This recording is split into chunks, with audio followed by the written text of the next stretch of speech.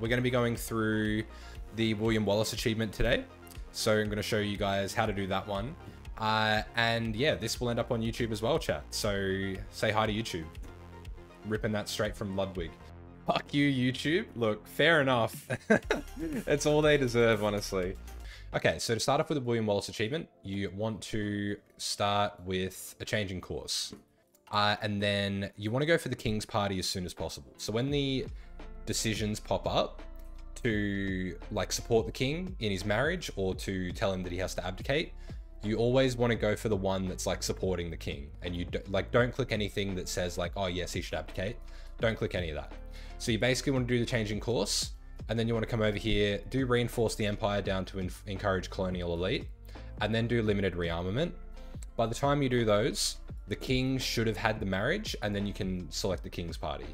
I actually started playing Hoi 4 two days ago. Funny you say that. I actually have YouTube guides. So let me, I'm going to plug myself. I'm going to plug myself. I work hard on that. If you go to that link on my YouTube channel, I've actually got some guides that are targeted, like not targeted, but they're like made for new players like yourself that have never really touched the game before.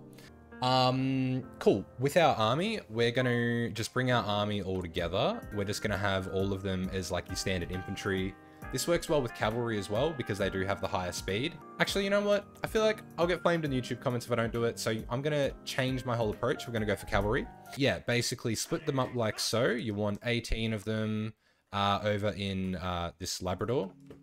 Um, and then what you're going to do is put half your army on the border here with Ireland and you're going to put the other half of your army all the way down here in South Africa. In terms of your industry, sorry, pretty much just build civs until about midway through 37. The idea is you want to have about, you want to have at least 5,000 guns available and at least 200 political power once you get to uh, appeal to the Imperial Loyalists. That allows us to start rebellions in Canada and South Africa. That will take 90 days. So as soon as this happens, we're going to start the Civil War. Uh, you need 5,000 guns to do it and 100 political power. So you need to have that. Then you want to consolidate the British Isles. That will allow us to take out Ireland. That's just for fun. Um, but we also need to do this focus to then go down and unite the Anglosphere, which gives us a war goal on the US. We're going to appeal to the Imperial Loyalists, start the process for the Civil War, consolidate the British Isles, kill Ireland, and then we're going to bring the Dominions back in the fold. And that allows us to actually ally with the uh, Imperial Canada and South African dudes. We'll also need to attack Australia because they have just like, they will join the war and they're a major for some reason. All right, so we've done the reinforce the empire, do service overseas. We're going to go for dispersed industry. Again, just sit on that political power. Don't spend it. You want it. You need that political power. So once these decisions start popping up, you always want to go for the royal marriage ones. And the reason you want to hang on to your political power, some of these will take political power away. You'll also lose stability, but honestly, there's nothing you can do about that. Just keep insisting on the royal marriage and let it run. Alright, service overseas. Now we can encourage the colonial elite. So, upper class opposed marriage, you're probably going to get these. They're just jealous. They're just mad that they don't have some American honey that is in love with them. Uh, whether it's for their money or not, you know, that's not for me to say. Um, one thing I forgot to do is you want to do your spy agency early as well. Um, once we flip over, we're going to start doing a collaboration government in the US. Um, that just makes it easier to capitulate them. Newspapers oppose the marriage. Well, unfortunate, because we don't give a f what the newspapers think. Mainstream media, get out of here. And then here we go, limited rearmament. Cabinet resigns, good riddance, get out of here. We lose a lot of political power, but it doesn't matter because you've been hot, you've been saving your political power, haven't you? You better have. You can train some more divisions as well. Um, just be careful that you're not dropping down below like 5,000. All right, limited rearmament. So now limited rearmament's done. We've done our three focuses here.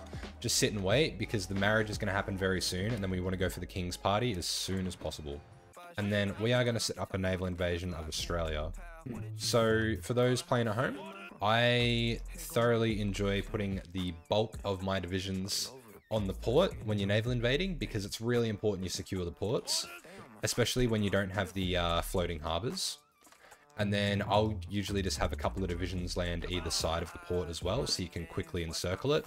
All right, here we go. So you see the royal marriage of Edward the 8th. Now the royal marriage is done, we can actually come in here and go for the king's party. You want to go for that straight away. Uh, okay, cool. So now God, uh, the King's party's done. So we go to God Save the King. Okay, so the other thing to keep in note, once we get over 50%, I'm being a little bit slack on it today, I apologize. Um, but once you get over 50% uh, strength, you can put two of your spies on the collaboration government, go commence when ready, and then also automatically repeat, and then you don't even have to worry about that until we go to declare war. We're going to build three airports over here, and three airports down there. And then we're going to do the same down here in, uh, we're going to build two down in South Africa. Okay, so God Save the King's done. So first do appeal to Imperial Loyalists, uh, and then do consolidate the British Isles. Don't do it the other way around, because like your timing will be off. Make sure you've got 10,000 guns, which we have plenty. So we are going to train up a bunch more of our divisions.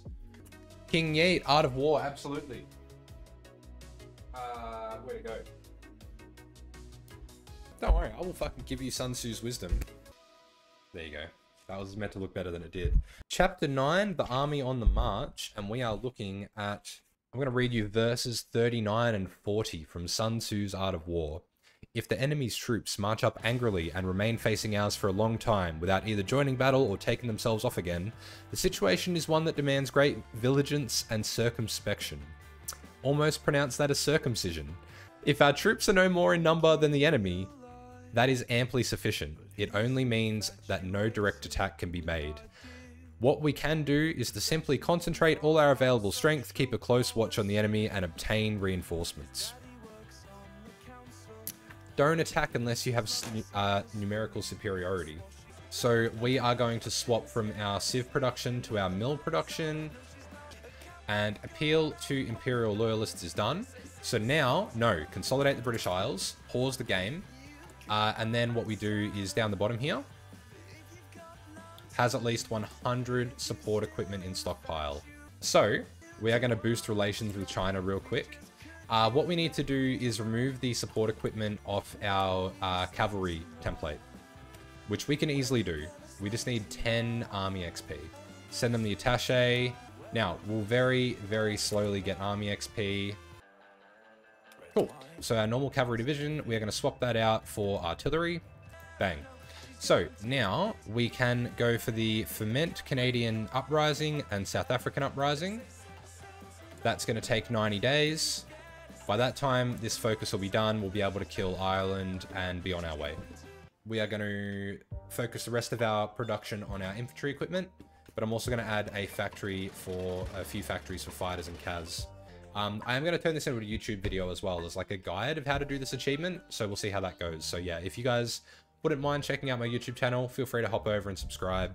Um, I do have guides for new players, so if you have any friends that want to get into the game or you yourself are new, uh, yeah, feel free to go over and check it out. Now, bring the Dominions back in the fold is what you want, because what that's going to do is allow us to ally with the rebels that pop up in each of these. Now, we have the war goal on Ireland, so we are going to take it. Nice and easy. And there we go, just like that, we've taken Ireland, so we'll take all of that. Uh, cool, so now we've got our 150 political power, we're going to go to partial MOAB. Alright, cool. So now Free Canada has declared war on Canada and Unitary South Africa has declared on South Africa. So you can actually see over here, basically they're going to hold them off for the most part. Uh, and then, um, yeah, once we finish the bring the dominions into the fold, there'll be a decision where we can ally with both of these and then take them over. Cool. So now we've brought the dominions back in the fold. Uh, we are going to go for the reassess continental commitments. Uh, that is because it give it gets rid of the uh, water and or wars, which gives us a shitload more manpower. So we have a war goal. Uh, we can just declare war on these guys. Um, the thing is, they're guaranteed by America. So the better way of doing it is down the bottom here. You can ally the Canadian uprising and ally the South African uprising. And then all of a sudden, we're already at war with them. And because we're joining a war that's already going, uh, the US won't declare war on us have them attack. You can honestly just battle plan this. Uh, and these guys up in Canada, I'm going to put them on aggressive. Make sure our air forces are working. Uh, our naval invasion over here has launched. We've sunk some of their convoys. All right, so our naval invasion is about to land. Cool, so... All right, you see what I mean? We've naval invaded either side. We're also pinning them. So we're going to take one of these divisions from each, and we're going to attack Perth. So this one's attacking Perth, and then this one's going to move around and encircle them. This one's going to move over here and take the uh, airport. So yeah, now we've encircled them. They are suffering an encirclement penalty. Uh, fun fact for you new players, if you hold control and then right click on the attack bubble, this blue arrow will come up. And that means that this division is attacking this tile, but he won't move there once the battle's won. Alright, why are they doing that? That's fine, we'll gobble them up. We are just going to run down to Quebec, Montreal, and Ottawa. So now we've got the political power, we're going to improve our worker conditions. Uh, cool. So our naval invasion over here has landed. That's fine. The US is lend-leasing me. I don't think you know what's coming, my guy. Okay, cool. So chat, now we've done this. Um, we need to go down these two focuses as well, because we need to get Unite the Anglosphere for the uh, war goal on the, US, on the US. So once you get the puppets, you want to take all their divisions. They're going to be a big part of what helps you uh, in this next war. Uh, I always forget Alaska, so that's why I'm doing that early. Cool. So now we can go for Unite the Anglosphere. That gives us the war goal on the US, and it also gives us cause on Ireland. Um, yes. All right. Puppet. Puppet. Uh, absolutely dogshit performance from the Aussie Resistance on that one. Mate, you're telling me. I don't want to be that guy, but they should have fought harder. Military parade. Oh, it's the Emu Empire. Let's go. Um, cool. So now that's done, we are going to declare war on the USA. Okay, so chat, if you zoom in here, you can see a lot of their, uh, there's a lot of gaps on their front lines, right? So what you want to do is put all your divisions on aggressive. Like losses honestly don't matter if you're just going for this achievement. It's like, look at all the gaps here. Just have them on attack, aggressive assault. Uh, and then what we're going to do is we are going to declare. And then Oh, yeah, it's not working. That's because we need to call in Canada. And then what you can do as well, if you slow your game speed right down, just go zoom in real close and just micromanage your front lines. Just basically push divisions into all of the gaps. Uh, war propaganda, good thing to do. Um, if you're below 50% war support, you might have mutinies and um, lose some stability and shit. Let's keep going into keep pushing through, keep taking tiles. Basically, this is just a game of gobbling up as much land as we can, getting some encirclements as well. That helps a lot. We might even get a cheeky encirclement on these guys. Keep pushing through.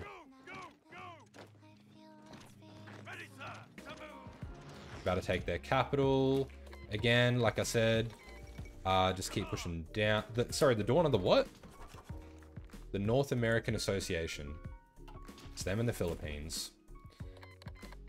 Ah, cool. So France has joined the war. That is both good and bad. Uh, it's good because then we can kill France as well.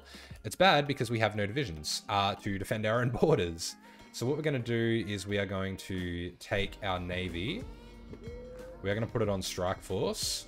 I'm going to move it back here. That's just to hopefully stop the French from naval invading us. Luxembourg's joined and the Czechs have joined. Um, so yeah, basically we just need to kill France. Once we kill the US... Alright, spoke too soon. Cool, chat. So basically, uh, that is the US defeated. Um, now, for the purpose of the achievement, we do need the peace deal. We're going to naval invade France. They'll never see it coming. Uh, it'll give you a decision to create a collaboration government. Don't do that. A oh, we should actually be able to go tip of the spear. That that gives us uh, Tip of the Spear gives us increased um, naval invasion capacity. So what we are going to do is these guys are ready. We will launch that naval invasion. Now, this naval invasion may not go well, so we can just... Okay, these guys are going to die. So long as we take one port, that's all we really need. There we go. Bang. Okay, cool. So now what we can do is we can flood in we are literally just going to battle plan this shit. Fantastic. Wonder if France still has disjointed government. They do. So their surrender limit is much lower, so we should be able to get away with just taking Paris. And if we can rush to Paris... Cool, that might be the end of France, honestly. Okay, obviously not. We need a few more. Look at that. We are just rolling through. Let's go for an encirclement. Ah, too slow. Cherbourg it is. Where's their capital now? Oh, it's Calais. All right, we'll take Calais. We'll take Dunkirk. Oh, it's reverse Dunkirk. All right. here we go. Now, this is the important thing for the achievement. We are going to puppet the United States, and then we might just take the rest of this for ourselves. Cool, peace conference is done. So now we've done that, and you have this decision here, install American monarchy, install United Kingdom of America. Wallis is the leader. Now, if we come into here and we find Scotland and we release them as a puppet, and that is going to be the achievement. You guys can't see it pop up because of my overlay. I promise you it's there. All right, and oh god, I need to find it. Where is it? Where is it? Where is it? Here we go. William Wallis, achievement complete. Uh, so yeah, that's how you do it. Um, so yeah, bada bing, bada boom. Uh, thanks everyone for watching.